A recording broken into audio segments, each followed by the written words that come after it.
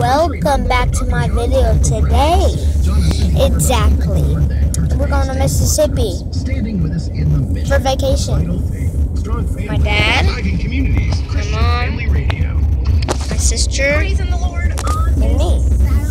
So guys, sorry for the short episode, but I will see y'all in the next episode. Bye guys.